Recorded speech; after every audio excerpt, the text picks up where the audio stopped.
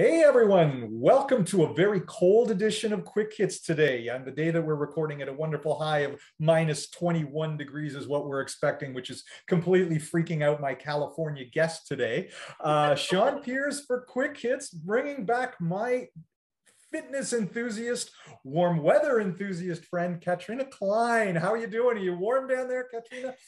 it, it is very warm. I'll send some your way. it cannot get here soon enough.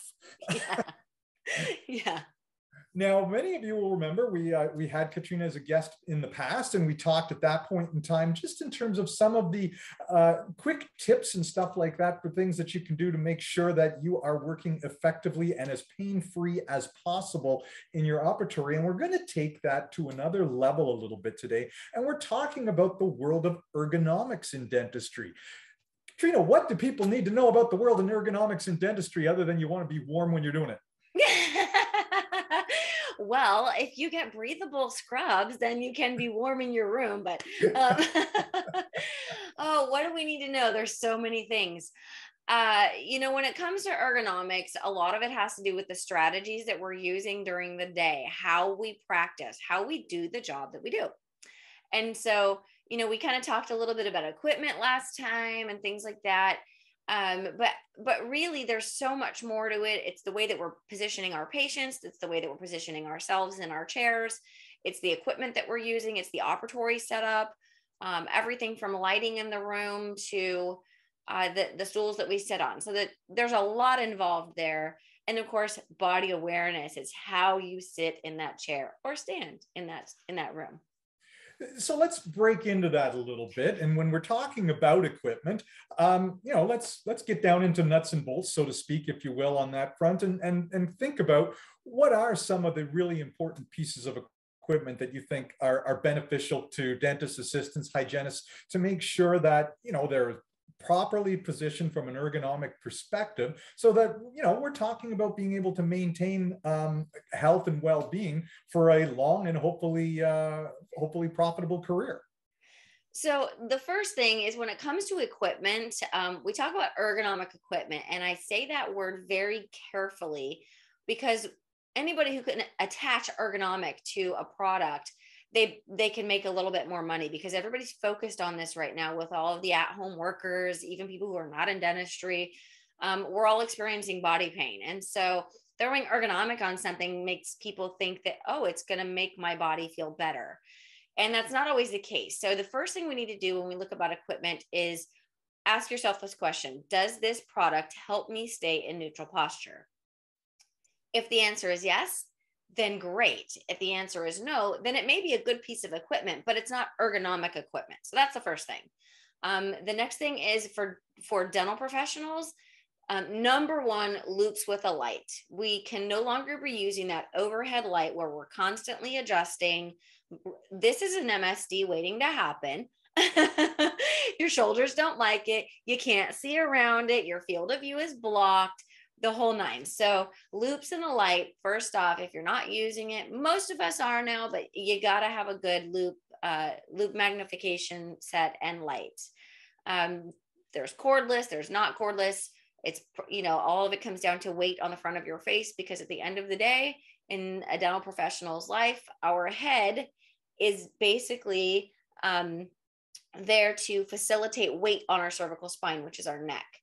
And so when we put 10 degrees of forward flexion and we look 60 degrees down, that's the equivalent of me putting six 10 pound bowling balls off the front of my face. So, how many ounces do you load up on your head and on the front of your face is extra weight? So, just those are things to keep in mind. If you're going to wear one of these shields that's like a an army battalion thing that you have on your head with a vacuum for zero pressure and oxygen, a lot of these things we were seeing during a the initial part of COVID, uh, you know, that's all weight on the front of your face. So my first rule is the less weight, the better. Um, the less plastic hanging off the front of your face, the better. Um, when it comes to loupes and lights, I like the corded because that puts no battery on the front of my face and a bright, bright light. So that's one thing. Another thing is a saddle stool. They really are all they're cracked up to be. They keep us in neutral posture because they keep our uh, our core engaged And they also don't allow the legs to be at 90 degrees, which is kind of an, an old way of thinking that we we put ourselves at 90 degrees at the elbow, 90 degrees at the hip, and 90 degrees at the knee. Thankfully, we learn over time and we now know that that's not good. We don't want to be in that position. So if we can get our legs to be closer to 135 degrees or more, so that we're a lot closer to standing than sitting, we experience a lot less low back pain because the muscle that attaches our legs to our spine is attached to all of our lumbar vertebrae, which just pulls it forward. And that's where we end up in pain at the end of the day is our low back, most of us, and our neck. So, so there's that. Yeah, so, and that I guess is the big thing. Like you're you're a big advocate, obviously, with respect to the saddle stools, and and and I mean, I, I can sort of see it. You know, we're we're looking at it from the standpoint of the typical person, whether it's someone working in a dental office or your admin team working out in, in the front who is sitting uh, for the bulk of their day particularly if they're sitting, as you say, with the legs at a 90 degree angle, that's going to really tighten up the hip flexors. It is a lot. Yeah. It's no different than when you go um, for a long car ride and you're sitting yeah. at that 90 degree. The first thing you do when you get out of that car is you push your hips forward and your low back because that psoas muscle, that hip flexor muscle is tight and shortened. So you stretch it back out and then you feel better so it's it makes complete sense when you think about that with respect to sitting all day at work but as much as i'm a saddle stool advocate i'm even more an advocate for standing in dentistry that is huge because now we're literally in neutral posture and we can micro shift our body because the enemy in the body is stagnant chronic compression of joints and limbs. And so if we can have small movements where we're just shifting a little bit when we go to reach for something for something we don't we can shift our whole body. We can take a tiny step this way or a tiny step that way. We're faster we're more efficient. The body likes it the only thing the body doesn't like if of course if we're standing literally all day long is our feet don't like standing. So get some good footwear and some compression socks and you're good to go. It's it's a much happier body that's not sitting all day because sitting is literally the new smoking I've been, I was going to say that. I've read that so many times.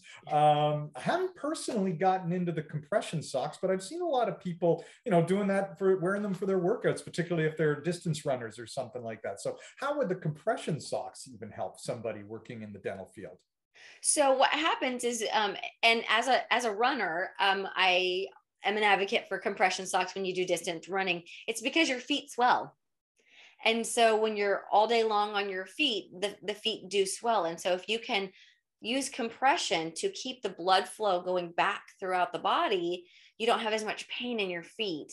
And then you can also distribute your, you know, your your blood levels. Like when you sleep at night, things distribute back out, right? When you're standing all day long, everything kind of you know gravity all goes down. Mm-hmm. so you'll you'll feel more relief with your feet your ankles your and your calves all of this. So if you're going to be on your feet for 8 hours a day it's a thing. I mean waitresses and waiters have been doing it for decades. So they must be they must be doing something right. And historically, you know, for for people working in those sort of industries, we've always talked about footwear in the form of the shoes and having um, supportive but you know somewhat flexible. Strong where it needs to be flexible where it needs to be tight footwear. Um, but the compression socks aspect i don't know if that was something around. I, I that seems to be a little bit of a newer one. So kind yeah. of interesting you, you, touched upon that. And and obviously the saddle stools are are a big thing and not just because everyone's a fan of yellowstone these days and want to get on a saddle stool thinking that you know that you're not taking your patient to the train yards. Right exactly well, what we don't realize is that when we use a saddle stool and we're not using a lumbar rest, we're actively engaging our core in order to sit upright. So if you know, if I, and I'm currently sitting in a saddle stool now. And so when you look at me from the side, you can see that my ears over the shoulders, which is then follows all the way down. It it's because my core, my my stomach muscles, which are responsible for spinal position and spinal um, support, they're doing their job. And, and I would argue that lumbar seating, lumbar assisted seating, when we're supposed to be actively engaging our core is what leaves so many of us with a weak core in dentistry. So, I mean, if we're going to use that lumbar rest, use it for when you're sitting back talking about treatment in a casual conversation with a patient without gloved hands. And that way you're knowing that, okay, my core is engaged. I know I'm going to be sitting more upright because of that. So it's, there's so many benefits to the the saddle stool that what I usually will recommend is that for longer procedure, use your saddle stools for doctors. Um, for hygienists, every other patient stand, stand, and when you are sitting, sit in a saddle, and that that's a nice balance. Your feet won't be quite so sore at the end of the day. Um, I also recommend that for your doctors, hygienists. Here's a little tip that that the doctors love: make sure that the patient is up so the doctor can walk in and stand doing hygiene checks.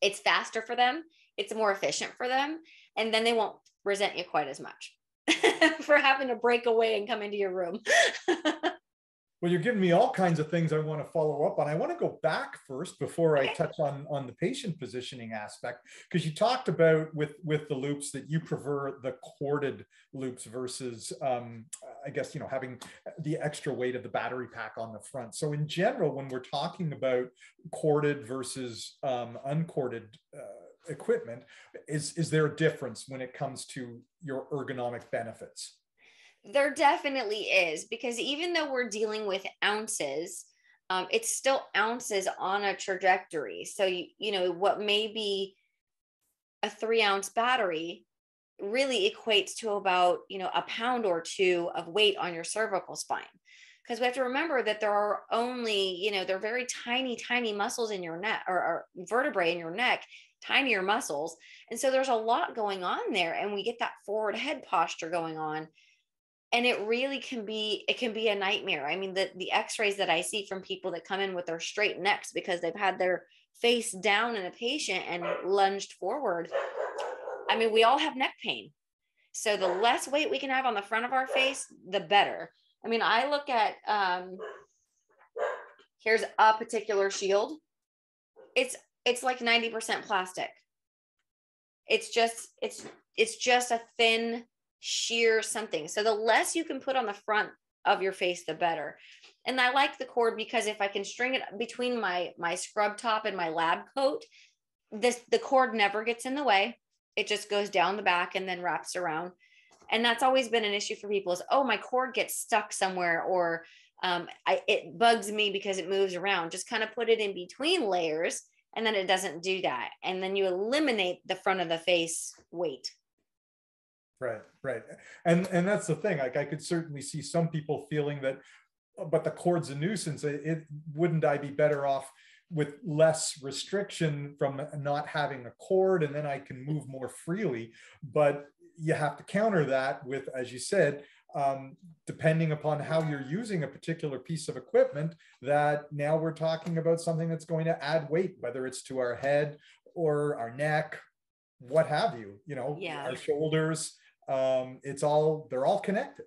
Right. Yeah. That that song we learned in kindergarten about the knee bones connected to the hip bone, you know, that it's true. I mean, what we do in one part of the body affects everything. And it's a domino effect from the front of our face all the way down and vice versa. So, you know, when we talk about, we were talking about footwear and things like that, and how we're standing and sitting. When we're sitting in a saddle stool, we're much more likely to keep our both of our feet flat on the ground, as opposed to when you sit in a traditional chair, we all want to hike that one foot up and put it on the wheel. The problem with that is that that foot's connected to the knee, which is connected to the hip. And if you have one hip higher than the other, what's happening to your spine? It's moving and then you're compensating with your shoulder. So we want our feet flat on the ground at all times in dentistry. And so using a, a chair that that leans towards that, that makes you want to do that, because it's a lot more difficult to put your foot up on a saddle stool because you're sitting up higher than on a on a traditional lumbar chair. And the whole reason we're doing that in those lumbar chairs is because we're uncomfortable. We're perched on the edge we're sitting you know we're trying to do everything we can to get comfortable in this really not neutral chair that doesn't sit us set us up properly. It's just unnatural. And that's why we're trying to hike up a foot, sit this way, sit that, everything we can do to get comfortable bio, biomechanically, and it just doesn't work. Well, and, and I sort of compare that to the principle that I would see working in, in law offices some 20 odd even 30 years ago when you know you would maybe you would go into someone's office that was having some back issues uh, they wouldn't sit on their traditional lumbar chair anymore. They were prescribed to sit on essentially what we would see at a gym as one of those exercise balls. Uh-huh.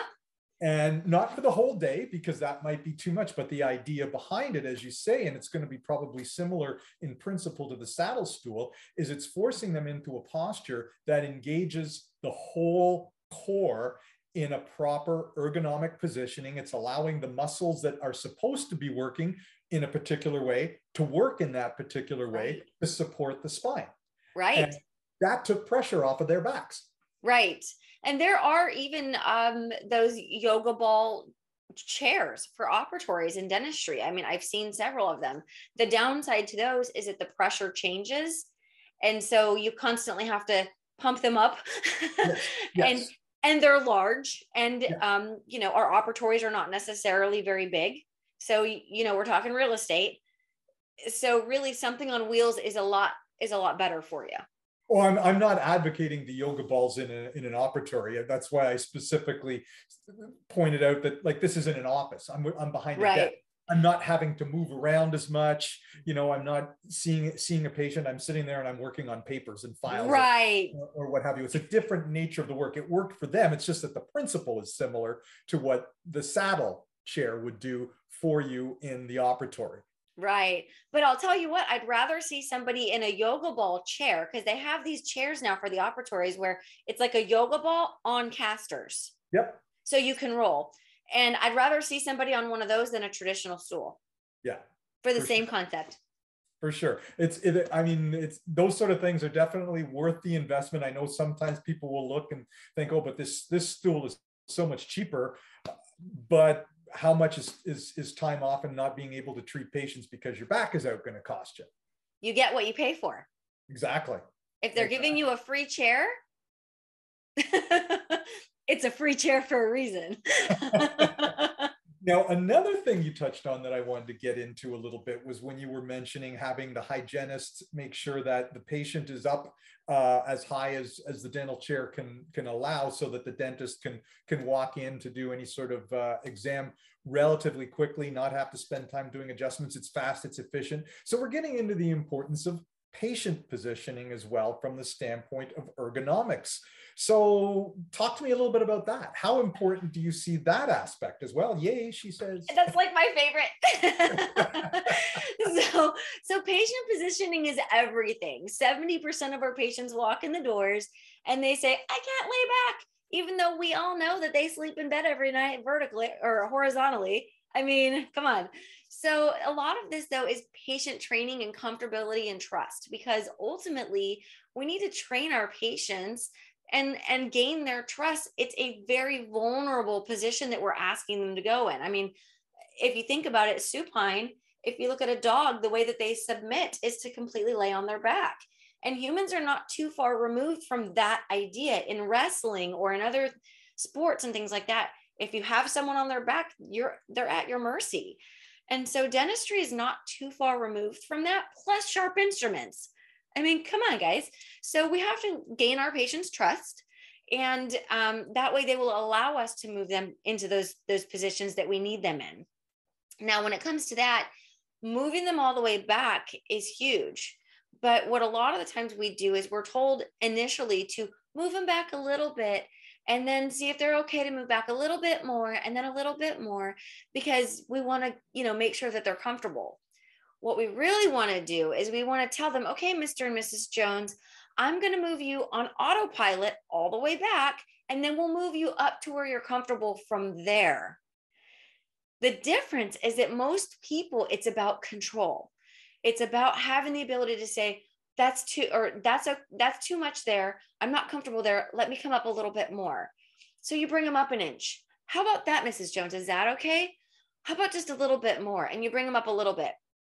90% of the time, it's going to take maybe two or three adjustments, and they're going to be fine with that because they've made the choice. You may come all the way back up, but not likely. As opposed to if you start at the beginning, you're only going to get two or three adjustments to go back. So you've gained a lot more distance when you've done it the other way, and you've still allowed the patient to have control over their positioning. So that just something easy like that can make all the difference in the world. And then there's another thing most of us have adjustable headrest. So if your patient is sitting kind of upright because they have vertigo or they have a back or a neck injury and they literally cannot lean back all the way or lay back and they sleep in a La-Z-Boy or they're whatever, moving their headrest. So if this is the back and this is the head, just move the headrest back. So essentially, if I'm the patient and I'm leaning back like this, but my headrest is straight, how are you going to get in there? But if you can move the headrest, suddenly you can see further back in there, but their body is up more. So, number one, put the headrest back. Number two, use autopilot and let autopilot be the bad guy and bring them up from the bottom.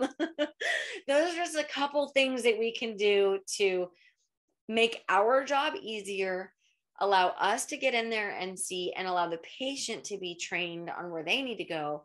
And then the last thing I would say is indirect vision. That we need to live, eat, and breathe indirect vision. That is so big for what we do, um, especially as hygienists. Um, I mean, doctors are are very well prepped for it because you spend one time in one area for the whole time and if you're not using indirect vision on number two or number 15 you're done for so doctors really get this one, but hygienists are the worst. and we start doing this, trying to look in the mouth. So live, eat, and breathe indirect vision for sure. And that'll help you even for those patients that can't lean back all the way. Do you have any tips that you, t- you share with hygienists who may be struggling with uh, using their indirect vision skills? so when it comes to indirect vision, there are some exercises that we can do at home. We'll use a shoe box in front of us and use the indirect vision, um, and then the other hand to um, you know draw on papers. They're they're exercises we're given in school when we first learn how to do indirect vision. But ultimately, you just have to do it because what it comes down to is speed. You just have to decide I'm going to do it. I'm going to take my time. I'm going to be a little slower on this today, but because I practiced, I'm going to get better. Yeah. Now, one last thing that I want to get into, and again, you touched on a little bit earlier when you kept talking about real estate, and that's the idea of how we set up our operatories. And I mean, I'm going back and thinking dentistry in days gone by when it was how many ops can you cram into 1,500 square feet of total office space? You know, the more ops, the more I, am producing, the happier I am. Uh, all nice, great if you if you can do it but sometimes that really puts a restriction in terms of where we can set up our, our equipment to be as ergonomically and friend, friendly as possible. How much we can move around to be able to work. How we how much we can work move around with our assistants and have our assistants similarly move with us as a team so that we're effectively working together and and being as ergonomically friendly as possible. So how are we balancing out those sort of spatial issues these days from an ergonomic perspective? Um, a lot of that would depend on when the practice was built if it was built in the in the cram it together days or if it's a newer practice. Today's operatories are a lot bigger. Um, but with those older ones the first thing i do when i go in and do an assessment is i move the patient chair towards the the foot wall or window whatever they have there um, there are usually a few inches, if not several inches, of space between where they place the patient chair in the room versus where it can be. And we need 24 inches of space behind where the patient's head lays and whatever's behind us. To work at 12 o'clock, which is directly behind the patient, we need enough space to roll from the side to the behind them, essentially, so that we can do our most effective work. So that's where we are most ergonomically sound and biomechanically less likely to trunk twist or head turn or lean over. So at 12 o'clock at that head positioning, that's probably the most important place to have that space, even in a room that's very tiny. So if there are carts behind, keyboard, platforms, um, cabinetry, I've seen people take out cabinetry behind them just so you can get into that space because that which we can do easily, we do. If it takes effort, like rolling across carpet in a chair, we don't do it. And instead, we lean and our body suffers for it. So, move the patient chair toward the window or the wall. That'll give you a few extra inches, and that might just be what it takes to get you where you need to be. That would be my first thing. you read Atomic Habits, didn't you? Huh? You read the book Atomic Habits, I think, didn't you? I have not. Is oh, well, you should because that's one of the atomic habits you just touched upon. Those things that you wish to do and reinforce, make them easy because oh. human tendency is that you know the more difficult the more obstacles we place in our way the less likely we are to make something a habit right yes i completely agree now i need to read the book. It's a very good book. I'm going to recommend it not only to you but to anyone else who's watching. Awesome.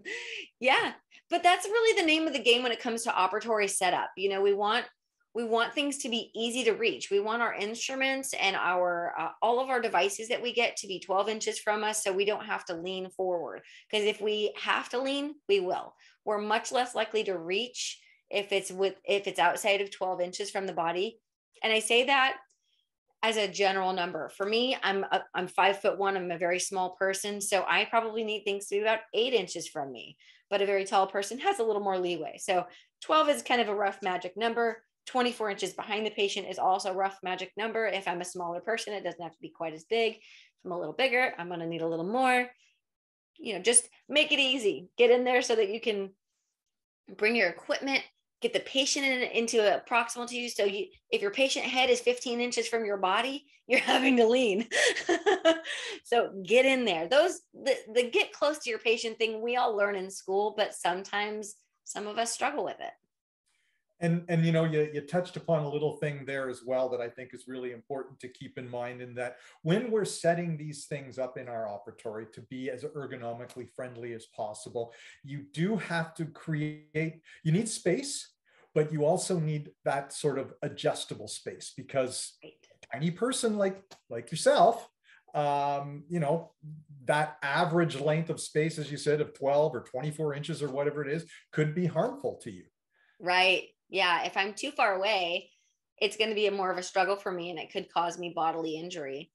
You know, it's it's kind of one of those things where there is no one size fits all exactly. um, to patients, to clinicians, to assistants, uh, to equipment. So, you know, that's why it's very important to have someone help you and and come in and, and look at your room. If you're doing a practice build out, have someone come in, take pictures. I, I mean, I've done consults with doctors who are building uh, new rooms or they're renovating their offices and they want to know where should I set things up? What's what's a good chair? Um, you know, what's a good this? One of my clients recently went through several. He has a, a chair graveyard because he thought it was his stool that he was sitting on this whole time when he was having pain because of his computer setup the counter was too high the, the keyboard was too high his mouse was too high everything.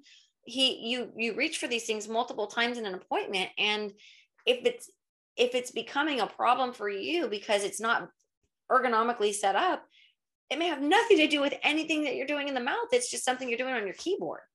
Exactly. so you know we we remedied that and we found another solution for that but it took me going out to his office and doing an assessment for him thinking okay is it is it the chair you're sitting on? Is it the way the patient's sitting? Is it the way you're practicing? I, I don't think i've ever seen anybody with better posture working posture ever. So it wasn't him it was yeah. his room. Yeah.